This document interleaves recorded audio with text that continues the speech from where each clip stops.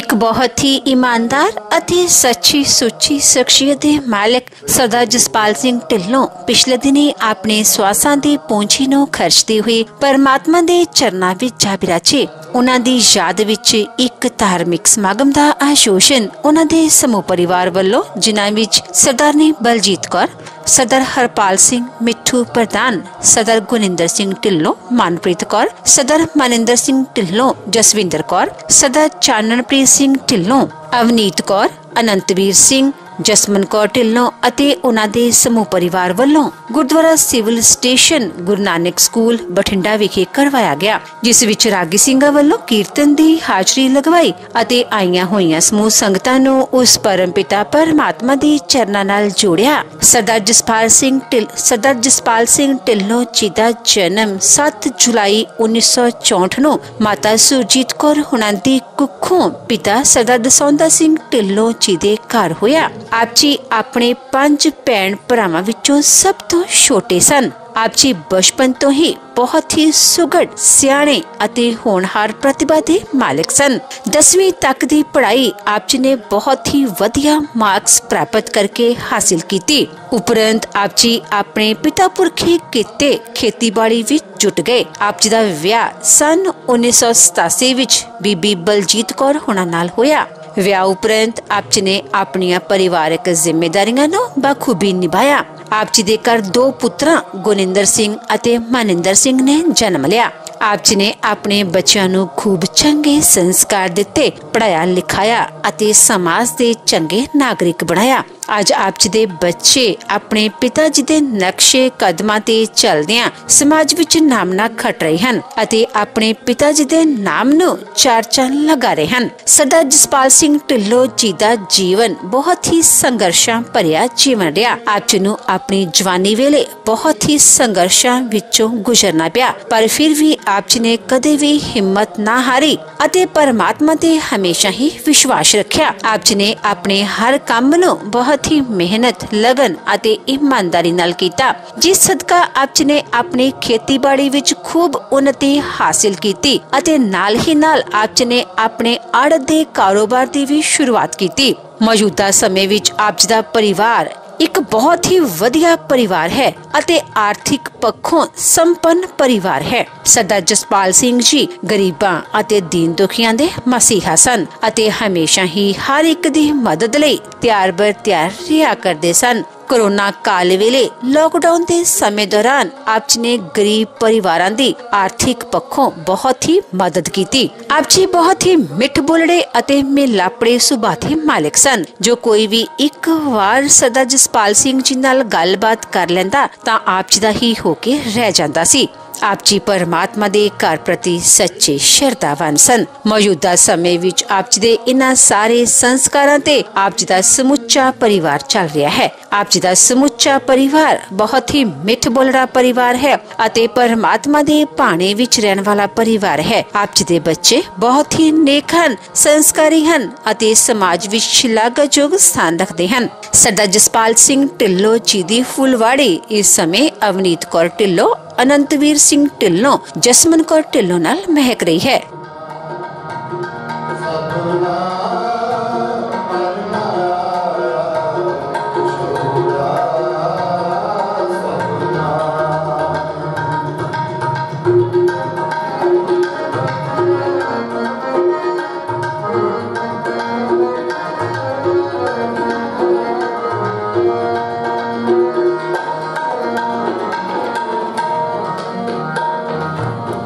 What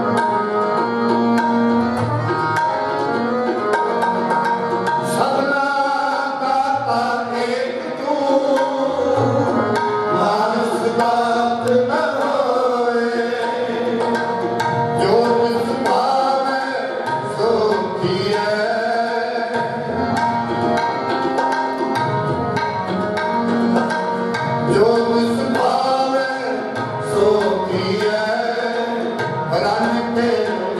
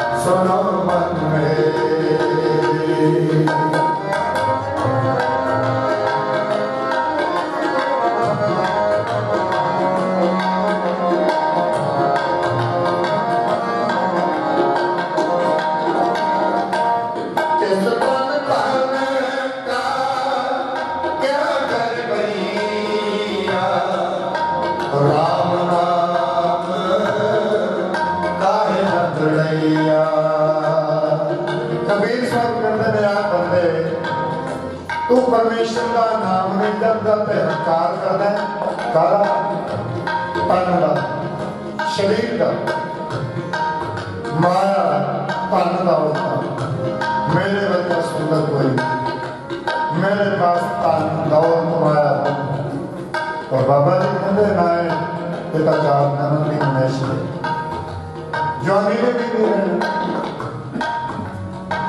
तन दौड़ तुम्हारा भी नहीं रहे तेरे भी रिश्तेदार ਤੇ ਜੋਦੇ ਵਿਚਾਰ ਨਾ ਵੀ ਨਵਾਸ਼ਾ ਜੇ ਦੁਨੀਆ ਸਰਾਏ ਥਾਨੀ ਦੇਖੀ, ਹੱਥੀ ਜਾਣਦੀ ਆਨੇ ਜਾਣੀ ਦੇਖੀ।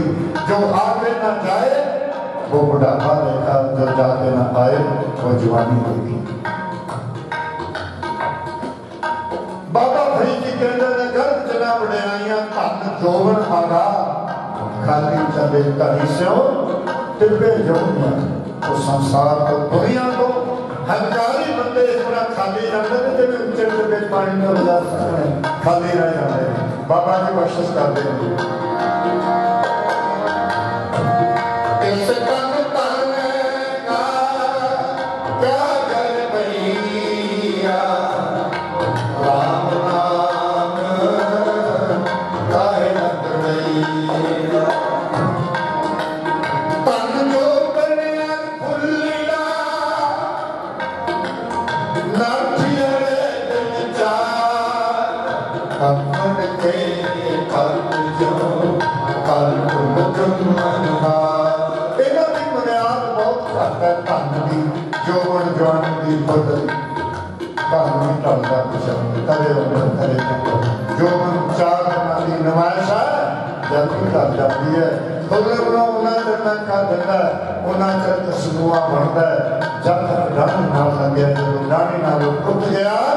ਬਸ ਮਿੱਟੀ ਵਿੱਚ ਮਿਲ ਗਿਆ ਕੋਈ ਨਾਨਕ ਦੇ ਪਾਇਆ ਕਹਿੰਦੇ ਨੇ।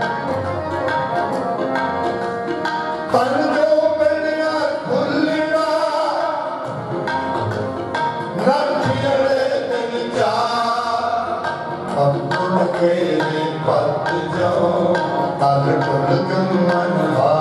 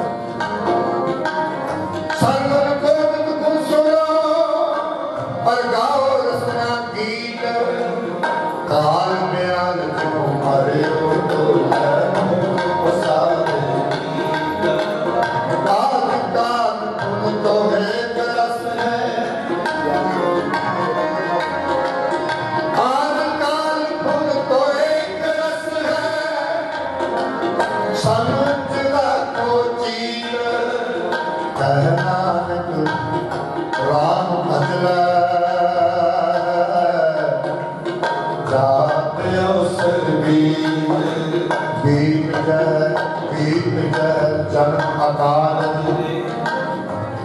ਨਿਸਬਤ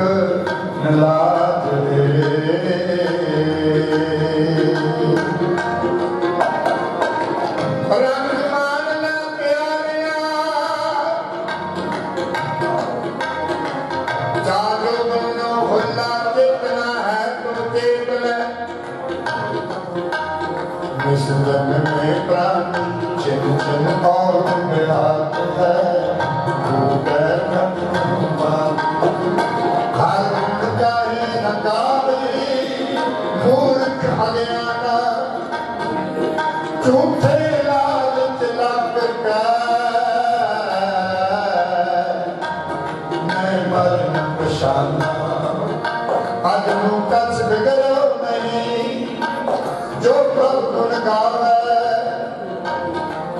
ਕਉ ਨਾਨਕ ਦੇ ਭਜਨ ਤੇ ਨਿਰਭੈ ਮਤ ਪਾਵੇ।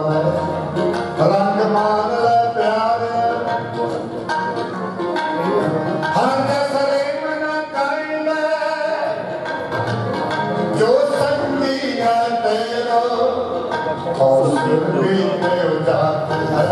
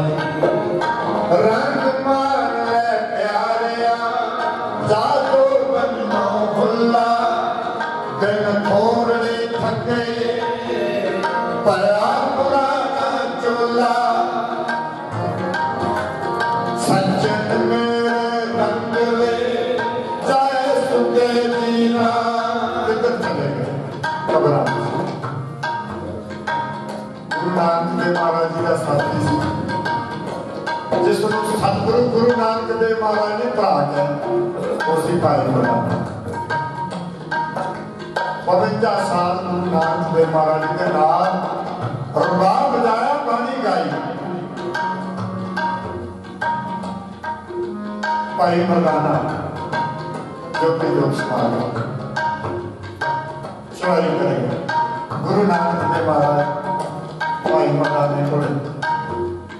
ਆਪਣੇ ਸਾਥੀ ਕੋਲੇ ਬੈਠ ਕਰਕੇ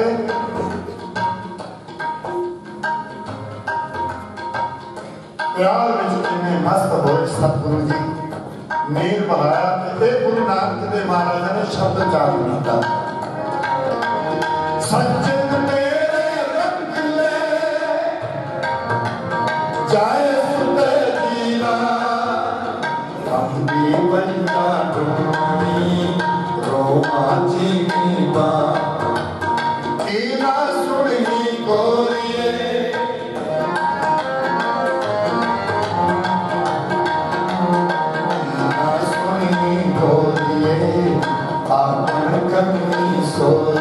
ਸੋਏ ਕਹਿੰਦੇ ਨੇ ਖਬਰ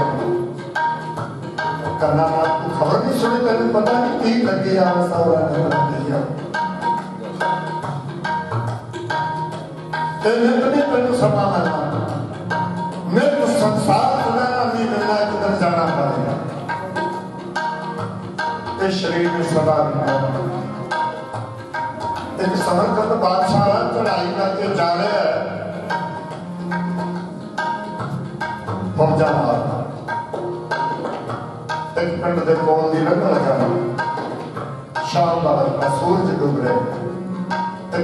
ਇੱਕ ਫਕੀਰ ਬੰਦਗੀ ਵਾਲਾ ਨਾਮ ਜਪਣ ਵਾਲਾ ਪਹਿਲ ਡਾਕਟਰ ਲੱਗ ਕੇ ਖਬਰ ਚੁੱਕਾ ਕਬਰ ਦੇ ਸਰਾਣੇ ਬੈਠਾ ਹੱਥ ਨਾਲ ਲਿਖਣਾ ਸ਼ੁਰੂ ਕਰ ਦਿੱਤਾ। ਕਿਸੇ ਮਨੁੱਖ ਕੋਕਰੀ ਡਿੱਗ ਗਈ। ਕਿਉਂਕਿ ਮੁਸਲਮਾਨਾਂ ਦੀ ਤਾਂ ਹੁੰਦੇ ਇਹ ਸਾਰੀ ਬਲੌਰ ਫਕੀਰ ਨੇ ਉਹ ਖੋਪਰੀ ਨੂੰ ਚੁੱਕ ਲਿਆ ਚੁੱਕ ਕਰਕੇ ਹੱਥ ਵਿੱਚ ਪਕੜੀ ਹੋਈ ਹੈ। ਦੇਖੀ ਜਾ। ਧਿਆਨ ਨਾਲ। ਜਿਵੇਂ ਕੋਈ ਔਖੀ ਕਿਤਾਬ ਪੜ੍ਹੀ ਦੀ ਹੈ ਨਾ ਪੂਰਾ ਧਿਆਨ ਲੱਗਾ ਤੇ ਨਾਲ ਦੀ ਲੱਗ ਰਿਹਾ ਬਾਦਸ਼ਾਹ। ਕਬਰਾਂ ਸਨ? ਇੱਥੋਂ ਦੀ ਰਸਤਾ ਸੀ। ਤੇ ਚੜਿਆ ਫੌਜਾਂ ਨਾਲ ਜਾ ਇਹਦੀ ਕਿਤੇ ਨਿਗਾਹ ਪੈ ਗਈ। ਫਕੀਰ ਵਾਲ ਰਾਤ ਹੋ ਰਹੀ ਸੂਰਜ ਡੁੱਬ ਗਿਆ ਮੁਸਲਮਾਨਾਂ ਚ ਕੋਈ ਸ਼ਾਮ ਸੂਰਜ ਤੋਂ ਡੁੱਬਣ ਤੋਂ ਬਾਅਦ ਕੋਈ ਖਬਰ ਨਹੀਂ ਮਿਲਦੀ ਇਹਨੂੰ ਥੋੜਾ ਜਿਹਾ ਗੁੱਸਾ ਆਇਆ ਕਿ ਕੌਣ ਹੈ ਬੰਦਾ ਜਿਹੜਾ ਕਬਰਾਂ 'ਚ ਬੈਠਾ ਹੈ, ਇਸ ਵੇਲੇ ਕਬਰ ਮੁੱਕ ਗਈ ਘੋੜਾ ਰੁਕ ਗਿਆ ਆਵਾਜ਼ ਦਿੱਤੀ ਹੈ ਸਾਈਂ ਤੈਨੂੰ ਖੁਦਾ ਦਾ ਡਰ ਨਹੀਂ ਲੱਗਦਾ ਇਸ ਵੇਲੇ ਕਬਰਾਂ 'ਚ ਬੈਠਾ ਕਬਰਾਂ 'ਤੇ ਜਾ ਰਹੇ ਹੈ ਫਕੀਰ ਕਹਿਣ ਲੱਗਾ ਜੀ ਆਇਆ ਕੀ ਆ ਗਿਆ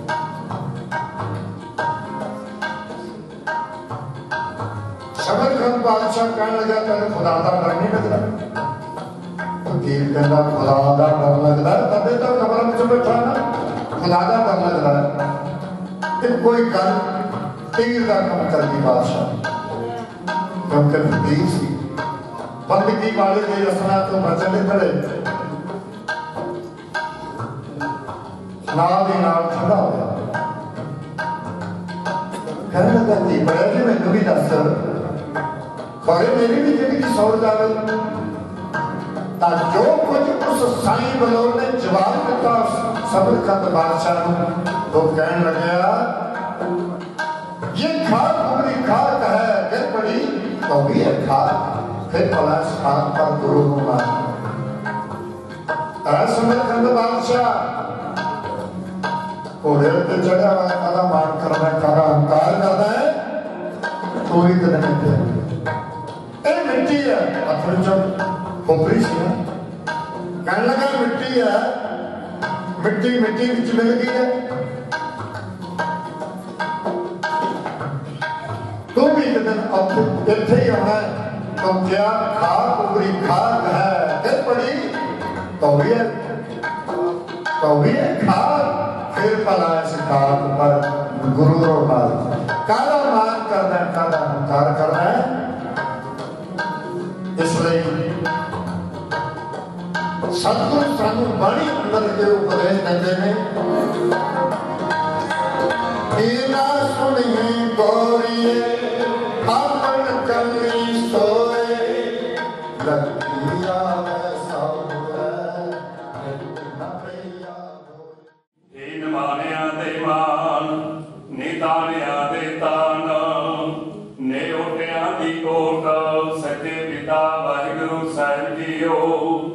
ਧੰਨ ਧੰਨ ਸ੍ਰੀ ਗੁਰੂ ਗ੍ਰੰਥ ਸਾਹਿਬ ਸੱਚੇ ਪਾਤਸ਼ਾਹ ਜੀਓ।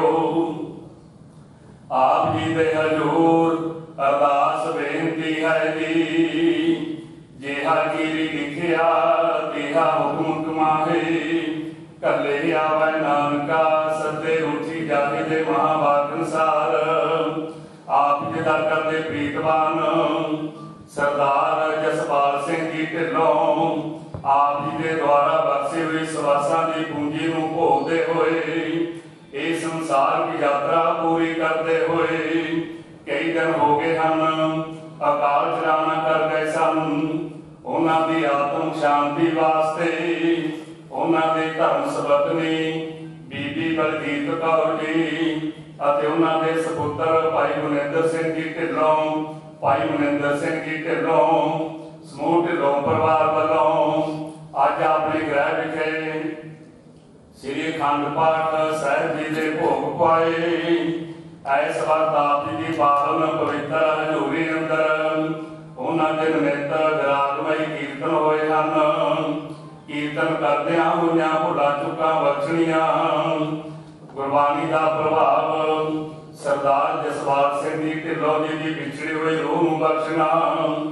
ਉਹਨਾਂ ਤੋਂ ਸੰਸਾਰ ਦੇ ਵਿੱਚ ਵਿਚਰਦਿਆਂ ਤੋਂ ਹੋਈਆਂ ਭੁੱਲਾਂ ਚੁੱਕਾਂ ਬਖਸ਼ਣੀਆਂ। ਉਹਨਾਂ ਦੀ ਵਿਛੜੀ ਹੋਈ ਰੂਹ ਨੂੰ 84 ਦੇ ਚੱਕਰ ਤੋਂ ਆਵਾ ਦੇ ਚੱਕਰ ਤੋਂ ਮੁਕਤ ਕਰਕੇ ਆਪਣੇ ਚਰਨ ਕਮਲਾਂ ਦੇ ਵਿੱਚ ਨਿਵਾਸ ਵਸਣਾ ਕਿਸੇ ਸਮੂਹ ਢਿੱਲੋਂ ਪਰਿਵਾਰ ਅਤੇ ਸਾਖ ਸੰਬੰਧੀਆਂ ਨੂੰ ਭਾਣਾ ਮੰਨਣ ਦਾ ਬਲ ਬਖਸ਼ਣਾ। ਉਹਨਾਂ ਦੇ ਸਮੂਹ ਪਰਿਵਾਰ ਵਿੱਚ ਸ਼ਾਂਤੀ ਚੜ੍ਹਦੀ ਕਲਾ ਦੇ ਰੋਗਤਾ ਤੰਦਰੁਸਤੀਆਂ ਵਸਣੀਆਂ। ਸੇਵਕਾਂ ਵੱਲੋਂ ਆਪ ਜੀ ਨੂੰ ਬੇਅੰਤ ਕਮਾਇਆ ਸੋਹਣੇ ਪਿਸ਼ਾਕੇ ਭੇਟ ਕੀਤੇ ਗਏ ਹਨ। ਆਪ ਅੰਗੀਕਾਰ ਕਰੋ। ਜਿਨ੍ਹਾਂ ਖਜ਼ਾਨੇ ਤੋਂ ਮਾਇਆ ਹੀ ਹੈ ਸੋਈ ਖਜ਼ਾਨੇ ਭਰਪੂਰ ਕਰਨੇ। ਸੇਵਕਾਂ ਦੇ ਲੋਕ ਪਰਲੋਕ ਵਿੱਚ ਪਰਦੇ ਕੱਢਨੇ। ਦਾਤੇ ਆਈਆਂ, ਸੰਗਤਾਂ ਦੀਆਂ ਹਾਜ਼ਰੀਆਂ, ਤਿਲ ਫੁੱਲ ਪਿਟਾਵਾਂ ਦਰਤੇ ਪ੍ਰਵਾਨ ਕਰਨੀਆਂ। ਸਰਬੱਤ ਚੜ੍ਹਦੀ ਕਲਾ ਦੇ ਰੋਗਤਾ ਤੰਦਰੁਸਤੀਆਂ ਬਖਸ਼ਣੀਆਂ। ਆਪਣੇ ਦਰੋ ਕਰੋ ਸਿੱਖੀ ਸਿਰਕ ਭਰੋਸਾ, ਨਾਮ ਦਾ ਬਖਸ਼ਣਾ। ਸੇਵਕਾਂ ਵੱਲੋਂ ਆਪ ਜੀ ਦੇ ਹਜ਼ੂਰ, ਕੜਾ ਪ੍ਰਸ਼ਾਦੀ ਦੇ ਹਾਜ਼ਰ ਹੈ ਦਰ ਪ੍ਰਵਾਨ ਹੋਵੇ। ਦਰ ਪ੍ਰਵਾਨ ਹੋਇਆ ਪ੍ਰਸਾਦ, ਸੰਗਤ ਵਿੱਚ ਵਰਤਾਉਣ ਦੀ ਆਗਿਆ ਬਖਸ਼ੋ। ਪਾਵਨ ਪਵਿੱਤਰ ਹੁਕਮਨਾਮਾ ਵਸ ਕੇ ਸੰਤਾਂ ਨੂੰ ਕਿਰਤਾਰਥ ਕਰੋ। ਹੁਕਮਨਾਮੇ ਦੇ ਚੱਲਣ ਦੀ ਸਮਰੱਥਾ ਬਖਸ਼ਣੀ। ਸਿੱਖ ਪੜਦੇ ਸੁਣਦੇ, ਸਭ ਲਾਹੇ ਬੰਦ ਹੋਵਨ। ਸਹੀ ਸੱਜਣ ਪਿਆਰੇ ਵੇਦ ਜਿਨ੍ਹਾਂ ਮਿਲਿਆ ਨਾਮ ਚਿਤਾਵੇ ਨਾਨਕ ਨਾਮ ਚੜ੍ਹਦੀ ਕਲਾ, ਤੇਰੇ ਬਾਣੀ ਸਰਬੱਤ ਦਾ ਭਲਾ। ਵਾਹਿਗੁਰੂ ਜੀ ਕਾ ਖਾਲਸਾ, ਵਾਹਿਗੁਰੂ ਜੀ ਕੀ ਫਤਿਹ। ਮਾਦ ਗਰਭ ਮਹਿ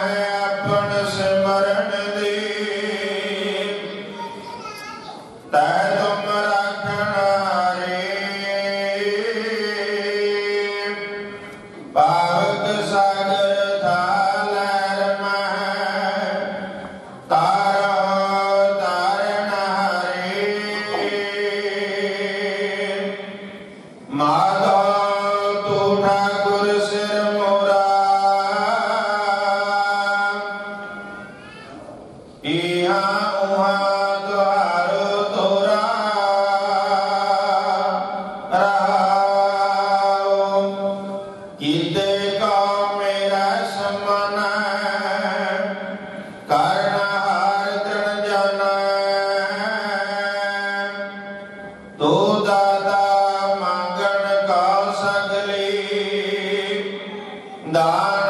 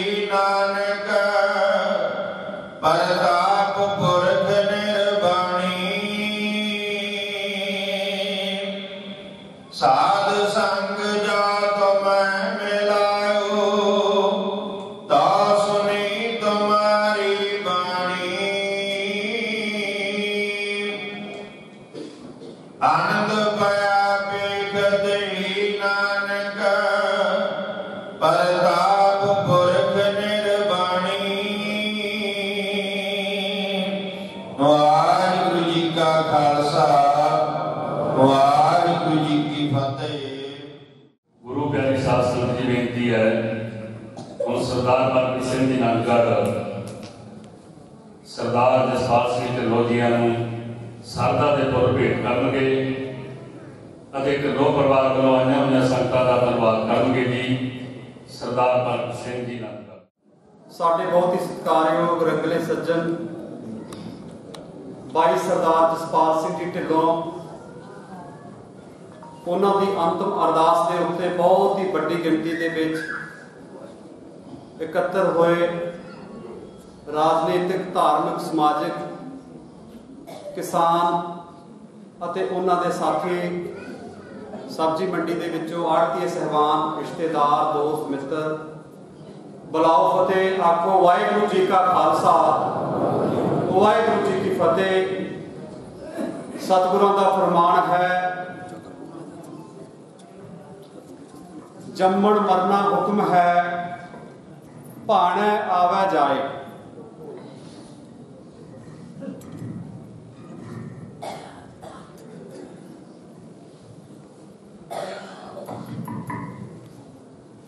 ਇਹਨਾਂ ਹੁਕਮਾਂ ਦੇ ਤਹਿਤ ਸਤਕਾਰਯੋਗ ਬਾਈ ਜਸਪਾਲ ਸਿੰਘ ਜੀ ਢਿੱਲੋਂ ਜਿਨ੍ਹਾਂ ਆਪਣੀ ਸਵਾਸਾ ਰੂਪੀ ਪੂੰਜੀ ਲੈ ਕੇ ਆਏ ਸੀ, ਉਹ ਭੋਗ ਕਰਕੇ ਪਾਤਸ਼ਾਹ ਦੇ ਚਰਨਾਂ ਦੇ ਵਿੱਚ ਜਾ ਰਾਜੇ ਨੇ। ਗੁਰੂ ਨਾਨਕ ਦੇਵ ਮਹਾਰਾਜ, ਸੱਚੇ ਪਾਤਸ਼ਾਹ, ਉਹਨਾਂ ਨੇ ਜ਼ਿੰਦਗੀ ਦੇ, ਮੌਤ ਦੇ, ਫਲਸਫੇ ਦੇ ਸੰਬੰਧ ਦੇ ਵਿੱਚ ਇੱਕ ਬੜੀ ਪਿਆਰੀ ਸੰਖੇਪ ਸਾਖੀ ਆਉਂਦੀ ਹੈ ਮੈਂ ਤੁਹਾਡੇ ਨਾਲ ਸਾਂਝੀ ਕਰ ਲਵਾਂ। ਕਿ ਗੁਰੂ ਨਾਨਕ ਪਾਤਸ਼ਾਹ ਨੇ ਆਪਣੀ ਜ਼ਿੰਦਗੀ ਦੇ ਵਿੱਚ ਇਤਿਹਾਸ ਦੱਸਦਾ ਕਿ 30000 ਮੀਲ ਦਾ ਜਿਹੜਾ ਪੰਧ ਹੈ ਉਦਾਸੀ ਕਾਲ ਦੇ ਸਮੇਂ ਤੈਅ ਕੀਤਾ। ਇਸੇ ਦੇ ਦੌਰਾਨ ਇੱਕ ਦਿਨ ਅੰਮ੍ਰਿਤ ਵੇਲੇ ਉਹਨਾਂ ਦੇ ਸਾਥੀ ਬਾਲਾ ਤੇ ਮਰਦਾਨਾ ਜਦੋਂ ਉਹਨਾਂ ਦੇ ਨਾਲ ਸੀ ਤਾਂ ਉਹਨਾਂ ਨੇ ਸਹਿਬਾਂ ਨੇ ਇੱਕ ਸਵਾਲ ਕੀਤਾ ਭਾਈ ਬਾਲੇ ਨੂੰ ਕਿ ਭਾਈ ਬਾਲਾ ਜੀ, ਮੈਨੂੰ ਤੁਸੀਂ ਦੱਸੋ ਕਿ ਜਦੋਂ ਤੁਹਾਡੀ ਜ਼ਿੰਦਗੀ ਦਾ ਅੰਤਲਾ ਸਮਾਂ ਆ ਗਿਆ, ਤੁਸੀਂ ਕਿੰਨੇ ਸਵਾਸ ਲੈ ਸਕਦੇ ਹੋ ਆਪਣੀ ਇੱਛਾ ਦੇ ਅਨੁਸਾਰ? ਸੌ ਸਾਖੀ ਦੇ ਵਿੱਚ ਦਰਜ ਹੈ, ਇਤਿਹਾਸ ਦੱਸਦਾ ਹੈ ਕਿ ਬਰਾਦਰੀ ਕਰਕੇ ਭਾਈ ਬਾਲਾ ਜੀ ਜੱਟ ਸਨ। ਉਹ ਕਹਿੰਦੇ, ਪਾਤਸ਼ਾਹ, ਇਹ ਕਿਹੜੀ ਗੱਲ ਹੈ? ਮੈਂ 100 ਸਵਾਸ ਲੈ ਸਕਦਾ ਹਾਂ।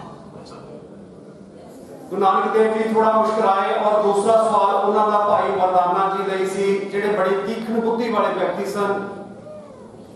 ਉਹਨਾਂ ਨੂੰ ਪੁੱਛਿਆ ਗਿਆ ਕਿ ਤੁਸੀਂ ਕਿੰਨੇ ਸਵਾਸ ਲੈ ਸਕਦੇ ਹੋ? ਥੋੜਾ ਸੋਚ ਕੇ ਉਹ ਕਹਿੰਦੇ, ਪਾਤਸ਼ਾਹ, ਮੈਂ 10 ਸਵਾਸ ਲੈ ਸਕਦਾ ਹਾਂ।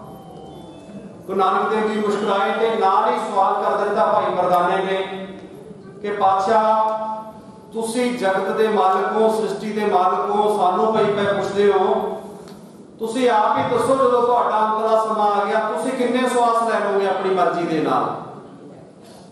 ਤਾਂ ਉਹਨਾਂ ਨੇ ਸਵਾਲ ਕੀਤਾ ਕਿ ਭਾਈ ਮਰਦਾਨਾ ਜੀ ਰਬਾਬ ਵਜਾਓ, ਅੰਮ੍ਰਿਤ ਵੇਲੇ ਦਾ ਸਮਾਂ ਹੈ।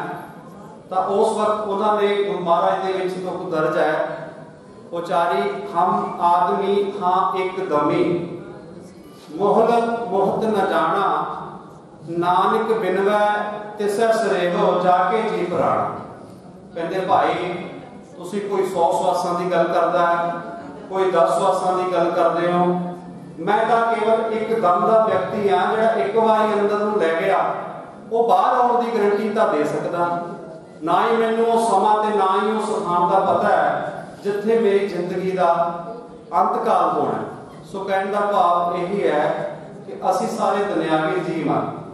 ਸਾਨੂੰ ਮੌਤ ਅਤੇ ਰੱਬ ਦਾ ਚੇਤਾ ਕੇਵਲ ਜਦੋਂ ਅਸੀਂ ਇਸ ਤਰ੍ਹਾਂ ਦੇ ਸਮਾਗਮ ਹੁੰਦੇ, ਸ਼ਰਧਾਂਜਲੀ ਸਮਾਰੋਹ ਜਾਂ ਅਸੀਂ ਕਿਸੇ ਪ੍ਰਾਣੀ ਜਦੋਂ ਚੜ੍ਹਾਈ ਕਰ ਜਾਂਦਾ ਸੰਸਕਾਰ ਵੇਲੇ ਜਾਂਦੇ ਆ ਤਾਂ ਕੇਵਲ ਚਾਰ ਦੁਆਰੀ ਤੱਕ ਹੀ ਸੀਮਤ ਰਹਿ ਜਾਂਦੇ ਆ, ਬਾਅਦ ਦੇ ਵਿੱਚ ਆ ਕੇ ਫਿਰ ਉਹ ਗੱਲਾਂ ਵਿਸਰ ਜਾਂਦੀਆਂ। ਸੋ ਜਿੱਥੋਂ ਤੱਕ ਬਾਈ ਜਸਪਾਲ ਸਿੰਘ ਜੀ ਢਿੱਲੋਂ ਹੋਣਾ ਦਾ ਸਵਾਲ ਹੈ, ਬਾਈ ਜੀ 58 ਸਾਲ ਦੀ ਉਹਨਾਂ ਦੀ ਅਵਸਥਾ ਸੀ।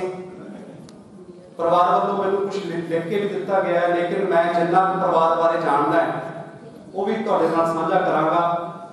ਪਰਿਵਾਰ ਦੇ ਸਮੁੱਚੇ ਢਿੱਲੋਂ ਪਰਿਵਾਰ ਦੇ ਬੱਚਿਆਂ ਨੇ ਕੁਝ ਲਿਖ ਕੇ ਦਿੱਤਾ ਹੈ।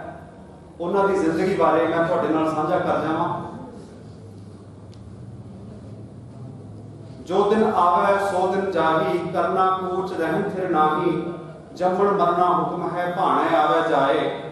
ਗੁਰਬਾਣੀ ਦੀਆਂ ਅਨੇਕਾਂ ਤੁਕਾਂ ਜਨਮ ਮਰਨ ਦੀ ਅਟਲ ਸਚਾਈ ਨੂੰ ਬਿਆਨ ਕਰਦੀਆਂ ਹਨ। ਜਨਮ ਤੇ ਮਰਨ ਅਕਾਲ ਪੁਰਖ ਪ੍ਰਮਾਤਮਾ ਪ੍ਰਭੂ ਦੇ ਹੱਥ ਵਿੱਚ ਹੈ। ਪਰ ਜਿਸ ਮਹਾਨ ਆਤਮਾ ਨੇ ਕੁਝ ਮਹਾਨ ਕੰਮ ਕੀਤੇ ਹੁੰਦੇ ਹਨ, ਉਹ ਸਦਾ ਚੇਤੇ ਰਹਿੰਦੇ ਹਨ। ਸਵਰਗੀਆ ਸਰਦਾਰ ਜਸਪਾਲ ਸਿੰਘ ਜੀ ਢਿੱਲੋਂ ਦਾ ਜਨਮ 7 ਜੁਲਾਈ 1964 ਈਸਵੀ ਨੂੰ ਸਵਰਗੀਆ ਮਾਤਾ ਸਰਜੀਤ ਕੌਰ ਅਤੇ ਸਵਰਗੀਆ ਪਿਤਾ ਦਸੌਂਦਾ ਸਿੰਘ ਢਿੱਲੋਂ ਦੇ ਘਰ ਹੋਇਆ। ਉਹ ਆਪਣੇ ਪੰਜ ਭੈਣਾਂ ਭਰਾਵਾਂ ਵਿੱਚੋਂ ਸਭ ਤੋਂ ਛੋਟੇ ਸਨ। ਬਚਪਨ ਤੋਂ ਹੀ ਤੀਖਣ ਬੁੱਧੀ ਵਾਲੇ ਹੋਣ ਕਾਰਨ ਉਹਨਾਂ ਮੈਟ੍ਰਿਕ ਤੱਕ ਦੀ ਪੜ੍ਹਾਈ ਚੰਗੇ ਅੰਕਾਂ ਨਾਲ ਪੂਰੀ ਕੀਤੀ। ਸਨ 1987 ਵਿੱਚ ਉਹਨਾਂ ਦਾ ਵਿਆਹ ਬੀਬੀ ਬਲਜੀਤ ਕੌਰ ਨਾਲ ਹੋਇਆ, ਜਿਨ੍ਹਾਂ ਦੇ ਘਰ ਦੋ ਬੱਚਿਆਂ ਨੇ ਜਨਮ ਲਿਆ। ਜਵਾਨੀ ਸਮੇਂ ਬਹੁਤ ਸਾਰੀਆਂ ਮੁਸੀਬਤਾਂ ਪਈਆਂ, ਪਰ ਗੁਰੂ ਦੀ ਮਿਹਰ ਤੇ ਮਾਤਾ ਬਲਜੀਤ ਕੌਰ ਦੇ ਹੌਸਲਾ ਅਫਜ਼ਾਈ ਵਾਲੇ ਸਾਥ ਨੇ ਕਦੇ ਉਹਨਾਂ ਨੂੰ ਡੋਲਣ ਨਾ ਦਿੱਤਾ। ਖੇਤੀ ਦੇ ਨਾਲ ਨਾਲ ਆੜਤ ਦਾ ਕੰਮ ਕਰਦੇ ਹੋਏ ਆਰਥਿਕ ਤੇ ਸਮਾਜਿਕ ਪੱਖੋਂ ਸਰਦਾਰ ਜਸਪਾਲ ਸਿੰਘ ਜੀ ਨੇ ਸਮਾਜ ਵਿੱਚ ਸਨਮਾਨਯੋਗ ਸਥਾਨ ਬਣਾ ਲਿਆ। ਹੁਣ ਉਹ ਇੱਕ ਵਿਅਕਤੀ ਨਾ ਰਹਿ ਕੇ ਇੱਕ ਸੰਸਥਾ ਦਾ ਰੂਪ ਬਣ ਗਏ।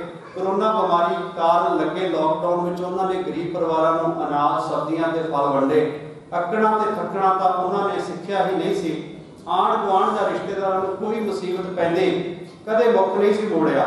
ਜਿਸ ਕੰਮ ਨੂੰ ਹੱਥ ਪਾ ਲੈਂਦੇ, ਪੂਰਾ ਕਰਕੇ ਹੀ ਸਾਹ ਲੈਂਦੇ ਸਨ। ਉਹ ਸਿਰਫ ਪਰਿਵਾਰ ਦਾ ਹੀ ਨਹੀਂ, ਬਲਕਿ ਹਜ਼ਾਰਾਂ ਹੋਰ ਲੋਕਾਂ ਦਾ ਵੀ ਸਹਾਰਾ ਬਣੇ। ਉਹਨਾਂ ਦੇ ਸੰਸਕਾਰ ਸਮੇਂ ਉਹਨਾਂ ਨੂੰ ਕੋਈ ਪੁੱਤ, ਕੋਈ ਵੀਰ ਤੇ ਕੋਈ ਯਾਰ ਦੋਸਤ ਕਹਿ ਕੇ ਰੋ ਰਿਹਾ ਸੀ।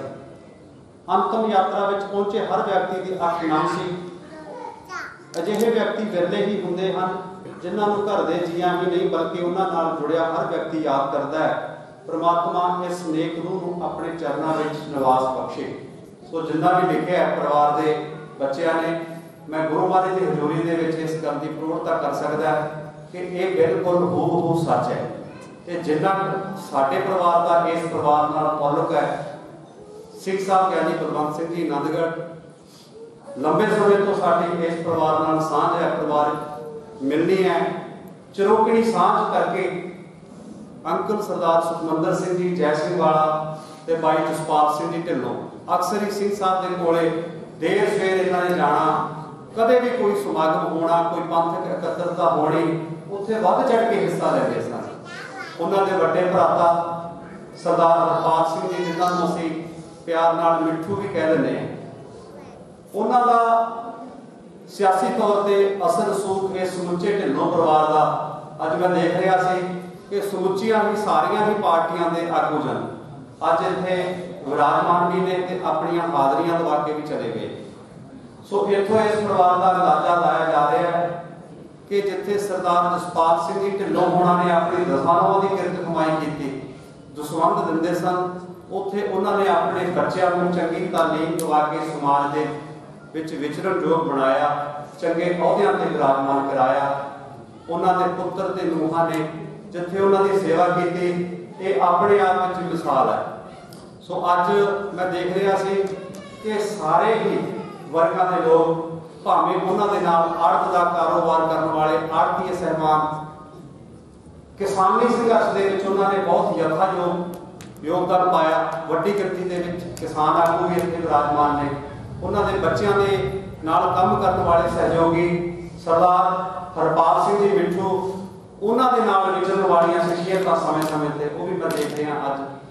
ਦੂਰੋਂ ਨੇੜਿਓਂ ਸਾਰੇ ਹੀ ਇੱਥੇ ਵਿਰਾਜਮਾਨ ਨੇ। ਸੋ ਪਰਿਵਾਰ ਵੱਲੋਂ ਹੁਕਮ ਹੋਇਆ ਸੀ, ਇਹ ਸਾਰੀਆਂ ਹੀ ਆਈਆਂ ਹੋਈਆਂ ਸੰਗਤਾਂ। ਜਿੰਨੇ ਵੀ ਦੋਸਤ, ਰਿਸ਼ਤੇਦਾਰ, ਮਿੱਤਰ ਪਿਛਲੇ ਦਿਨਾਂ ਤੋਂ ਸਮੁੱਚੇ ਢਿੱਲੋਂ ਪਰਿਵਾਰ ਦੇ ਨਾਮ ਤੋਂ ਸਾਂਝਾ ਵੀ ਕਰਕੇ ਗਏ ਆਪਣੀਆਂ ਹਾਜ਼ਰੀਆਂ ਵੀ ਲਵਾ ਕੇ ਗਏ ਆ।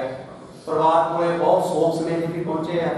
ਸਾਬਕਾ ਪ੍ਰਧਾਨ ਸ਼੍ਰੋਮਣੀ ਗੁਰਦੁਆਰਾ ਕਮੇਟੀ, ਪਰਮਜੀਤ ਸਿੰਘ ਜੀ ਸਰਨਾ ਹੋਣਾ ਦਾ ਸੋਗ ਸੰਦੇਸ਼ ਸਿੰਘ ਸਾਹਿਬ, ਗਿਆਨੀ ਬਲਵੰਤ ਸਿੰਘ ਜੀ ਆਨੰਦਗੜ੍ਹ ਬਲਦੇਵ ਸਿੰਘ ਜੀ ਮਾਨ। ਬਹੁਤ ਸ਼ੋਕ ਸੁਨੇਹੇ ਤੇ ਟੈਲੀਫੋਨਾਂ ਦੇ ਜ਼ਰੀਏ ਪਰਿਵਾਰ ਦੇ ਨਾਲ ਨੂੰ ਸਾਂਝਾ ਕੀਤਾ।